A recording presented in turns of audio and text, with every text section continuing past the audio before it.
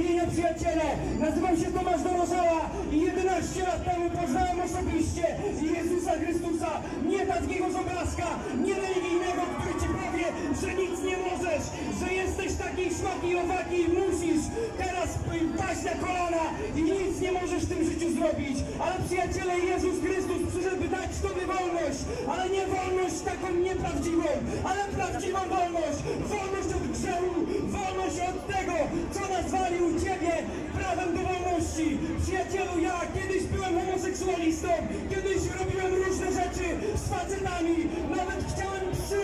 Rozumiesz, takie to zboczenie było, że aż normalnie psy chciałem dotykać i dowiedziałem się, że są to siły demoniczne i zostałem od nich uwolniony w imieniu Jezusa i Jezus dał mi prawdziwą wolność i dzisiaj jestem człowiekiem, który jest prawdziwie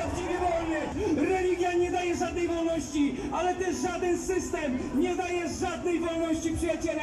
Przyjdź dzisiaj do Jezusa, a będziesz żył, będziesz żył tak jak ja. Kiedyś nazywano mnie zło, byłem człowiekiem, który niszczył ludzi, byłem człowiekiem, który miał różne zajawki na tle pornograficznym, ale dzisiaj jestem wolny i nie wybawił mnie system religijny, ale zbawił mnie Jezus Chrystus i ty dzisiaj możesz przyjść do Niego i być rzeczywiście wolny, rzeczywiście mieć Rafał. prawdziwą paradę wolności, Która jest możliwa wyłącznie w Jezusie Chrystusie. Halleluja!